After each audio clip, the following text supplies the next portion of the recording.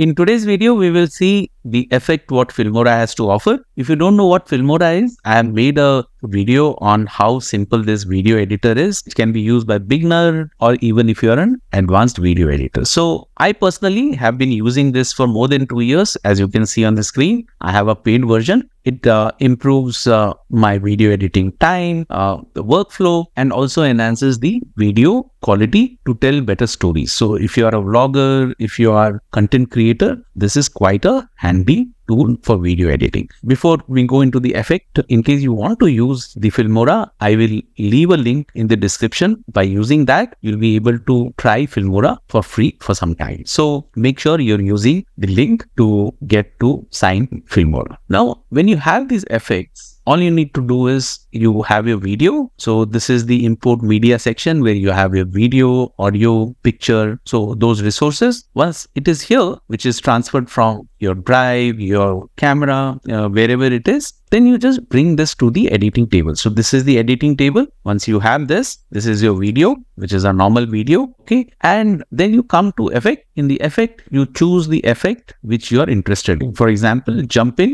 is what we will select just drag and drop and you see now the video changes so once you play the video this is how the video plays and on right side, you have option with adjusting the speed. So you can play with this. Each template will have some customization. Uh, here you only see one. In some template, you may have more than one. So you can tweak a bit if you want. Otherwise, just leave as it is. So this is how the effect work. And uh, if you have to go and check each of these effect, it is time consuming. So what I have done is I have made one length video where you will be able to see on this video how each effect changes the video and how the video looks. If you like any particular uh, effect, you can take a screenshot, you can note it down and then use that on your video to tell your story. So sit back and relax.